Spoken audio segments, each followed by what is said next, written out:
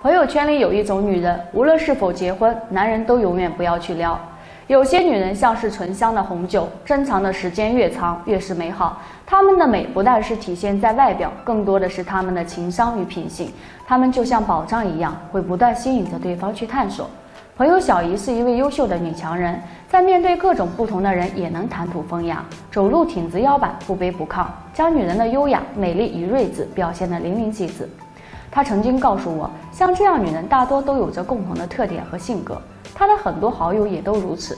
总结一下，这种女人大多有着三条特性：一、不喜欢主动追求人，有着自己的标准与性格。有时候很多女人都觉得，在感情中需要主动一些，抓住机会才能抓住幸福的尾巴。但是实际上，很多时候，越是在感情中主动的人，反而更加被动。反观一些不太主动的女人，却比较容易抓住男人的心。这就是一种大家都普遍存在的心理，认为越是费事、耗尽心思得到的东西越是珍贵，而很多轻而易举得到的东西就不是很值得珍藏。这种女人，她们有着比较高的情商，她们明白这些道理，所以不会主动追求男人，而是做好自己的事情。所以这种女人相对很难聊。二，拥有自己的事业，不依赖于男人。现在越来越多的女人不再依靠着男人来生活，靠着自己的能力去做事业。这类女人事业心很强，办事干净利落。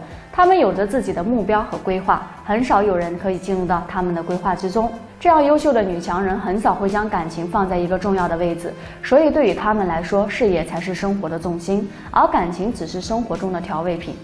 很多男人付出大量的时间和精力，也未必能够换来他们感情的回应。三，有着很强的交际能力与良好的交际圈。交际能力是一种非常重要的技能，不论是在事业上还是感情上，它都能带来很大的益处。一种好的交际能力，不仅是体现着有非常多的朋友，还有着处事的能力。朋友李丽是一家公司的高管，为人处事都很好。当在一个饭局上遇到一些尴尬问题时，李丽总是能轻松化解，备战圈子中的交际高手。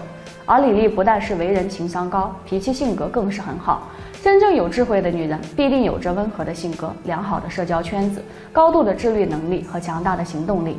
岁月改变女人的容颜，却成就了女人的心态。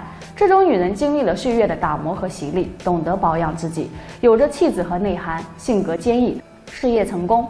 张小娴曾说：“好好爱他，然后也要好好生活。留住一个人的，从来不是卑微，而是活得出色和独立，努力成为一个任何人都想爱上的女人。”这样的女人有着自己的标准和准则，对于很多男人来说，撩这样的女人只会得不偿失，因为她们被人尊重，一看就活得很高级。